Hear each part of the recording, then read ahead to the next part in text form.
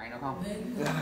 Bên này còn giữ ở cái má đặt ở cái mặt bên này nó hai bên này con giữ ở cái má đấy. cổ cổ. Giữ ở- giữ cái cổ. Cái cổ đây phải hai tay để dí hai bên má để giữ không? Nó chắc không? Kể cả nó ngoáy thì có hai này nó đỡ rồi. Mang cái con đặt này là cái mông vào đây đúng không? Đặt nó vào cái, cái chậu tắm ấy. đúng không? Thế là cả cái mông nó đặt vào đây cái người nó ở đây cái chậu nó dài cơ. Thì có phải cái tay này có vẫn đỡ không? Nó vẫn đang đỡ như này đúng không? Bây giờ tha hồ này rồi lách này cái này tắm này không đến cổ này mặt mũi tí nữa mình rửa nó sau. Rửa ở đây cái chân tay nó vẫn đạp thoải mái. Nó tha hồ đạp ở cái chậu đấy. Không có rửa bên này rửa bên kia rồi luồn dưới rửa dưới này. Để cứ giữ ổn định cái đầu nó. Đúng không? Nhưng mà xong xuôi toàn bộ phần dưới rồi đưa tay xuống mông nó. Xong rồi mới để xuống để có cái khăn lót sẵn đây tôi đặt nó lên. đặt lên xong rồi gội đầu này. Đấy mình rửa mặt nó này. Đúng không?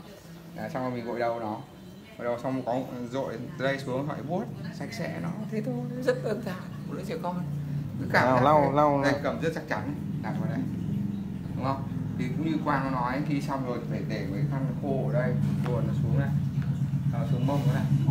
Đặt lên đặt vào đây. Đúng không? Thì là bắt đầu mình gấp này vào gấp bên này vào đậy vào cho nó khỏi lạnh đã. Cái, cái khăn đang rộng này đúng không? Còn bỏ đây gấp cái này vào bù cho nó đã mặc kệ nó chưa cần lau vội mình quay ra con gội đầu thì đây là cái chân để xuống đây dưới là cái chậu đúng không? Té nước lên này. Xoa đâu này xoa bên này xoa này dưới, dưới, dưới khe tay của nó đừng cho vào tay nó. Dưới, dưới khe tay nó lại gáy nó này.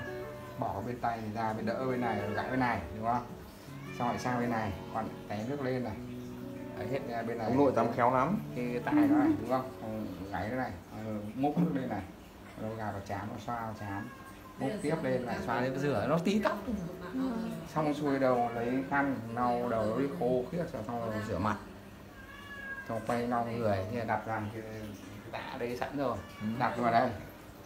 Cái tạ mình giải sẵn rồi đặt cái gói vào nó nằm rồi chơi một lúc. Thế là ok xong.